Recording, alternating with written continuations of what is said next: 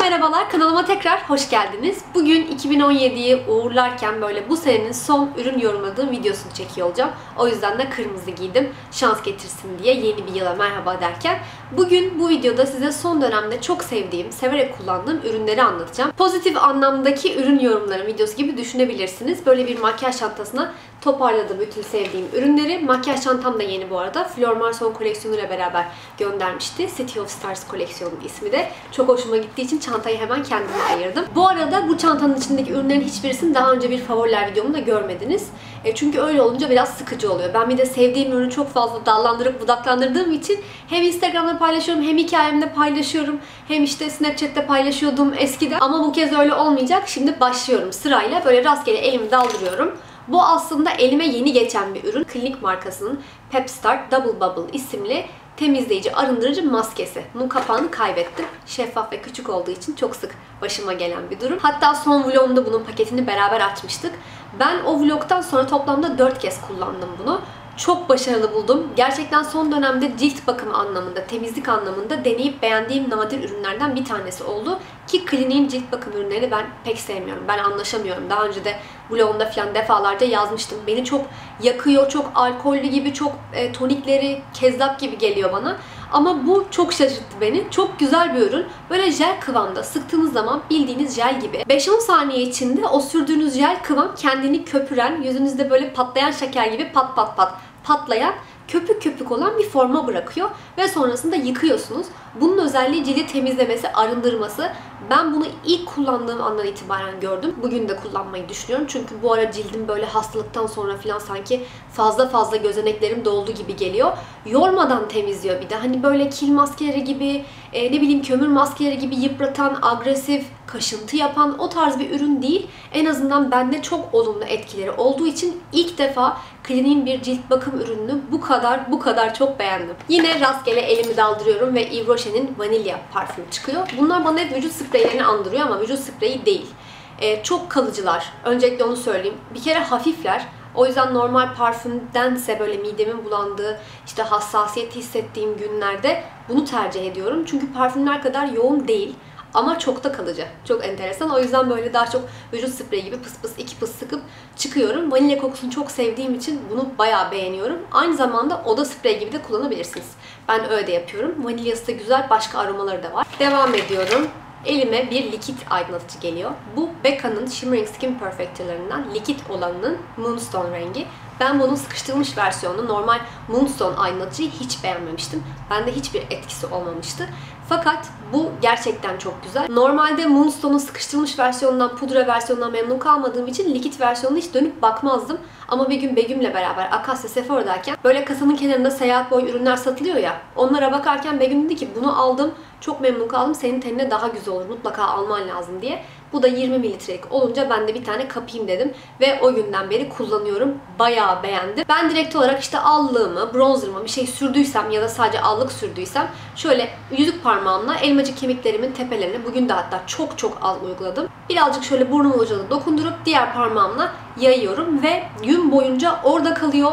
Simsim kalmıyor, parça parça durmuyor veya pudra allığın üstüne uyguladığınız zaman da o pudrayı silip götürmüyor. O yüzden bayağı beğendim ve sevdiğim o ıslak görüntüyü de verdiği için çok severek kullanıyorum. Devam ediyorum bir makyaj bazı. Bunu sadece Instagram'ın hikaye kısmında göstermiştim. Flormar'ın Illuminating Primer isimli makyaj bazı. İsminden de anladığınız gibi cildi illümine eden, aydınlık ve ferah gösteren bir makyaj bazı. Genelde bu isim altındaki, bu kategorideki ürünler böyle sim içeren, ışıltı içeren, aydınlık vermesi açısından ürünler. Bunda öyle bir şey yok. Hiçbir partikül yok. Bildiğiniz jel kıvamda bir nemlendirici gibi. Böyle pompalı bir ürün ama bunu paylaştığım zaman çoğu takipçim şey dedi. Bir süre sonra pompası bozuluyor. Haberin olsun diye. Bende henüz öyle bir şey olmadı. Makyaj yapmasam bile cildimin çok kuru olduğunu hissettiğim günlerde nemlendiricinin üstüne sürebileceğim bir ürün. Sürdükten sonra yüzü germiyor, matlaştırmıyor.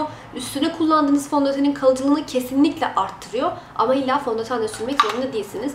Direkt ben bunun üstüne krem alıp sürüp çıktığımı biliyorum.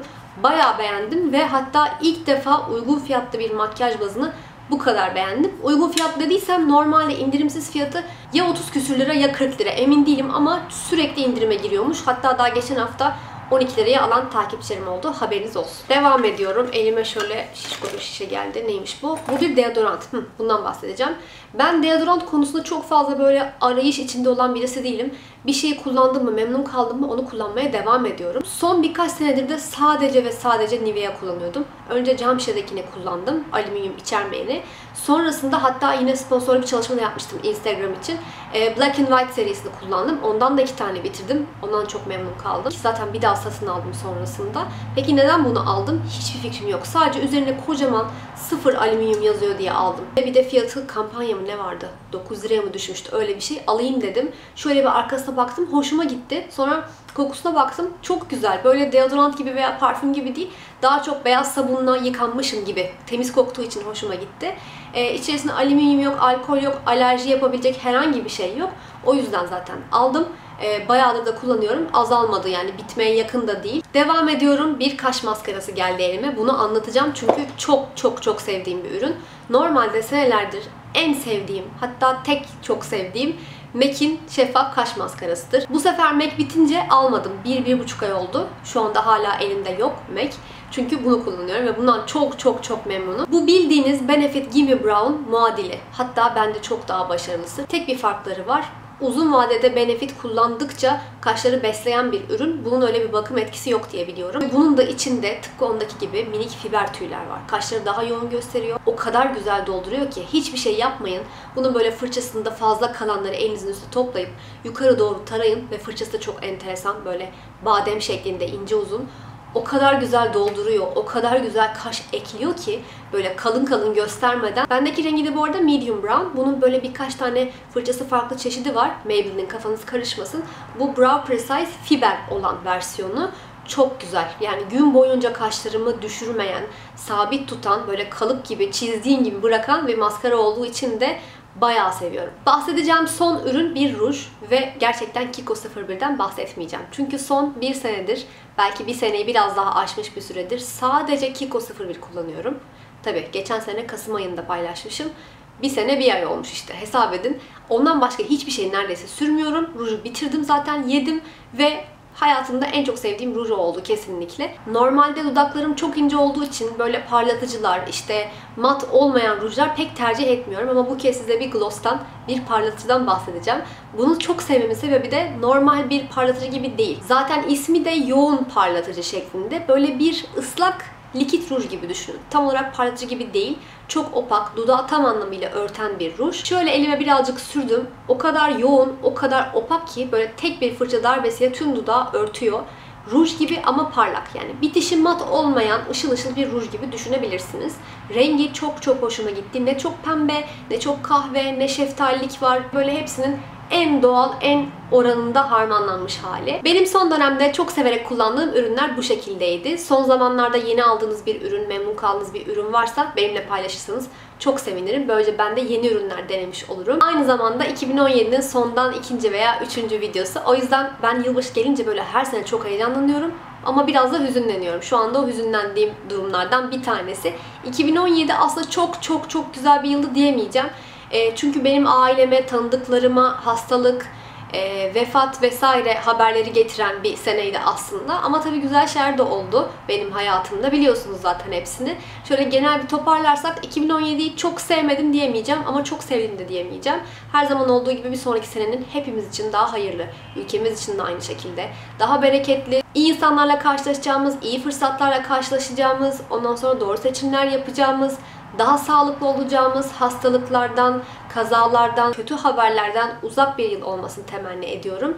En önemlisi hayırlı bir yıl olmasını diliyorum. Herkesin hep hayalini kurduğu şeylere bir adım daha yaklaşacağı bir sene olmasını temenni ediyorum. Ve tüm bu hayatımın değiştiği bir sene boyunca beni yalnız bırakmayan sizlere çok teşekkür ediyorum. Ne olursa olsun ne videosu çekersem çekeyim, kanalım ne yöne giderse gitsin, beni izlemeyi bırakmayan, beğenileriyle, yorumlarıyla, mesajlarıyla destekleyen olumlu olumsuz eleştiren herkese çok teşekkür ederim. Bir seneyi daha geride bıraktık. Bilmiyorum daha kaç sene daha burada olurum. Ee, olur muyum? Hiçbir fikrim yok. Şu an için devam etmek planlarım arasında sağlığım el verdikçe, çok büyük bir aksilik, hastalık bir şey olmadıkça. Ee, çünkü sevdiğim sürece bu işi yapacağımı söylemiştim. Sanırım söyleyeceklerim şimdilik bu kadar. İzlediğiniz için çok teşekkür ederim. Videoyu beğendiyseniz beğen butonuna tıklamayı ve kanalıma abone olmayı unutmayın lütfen. Ve bir sonraki videoya kadar kendinize çok iyi bakın. Hoşçakalın.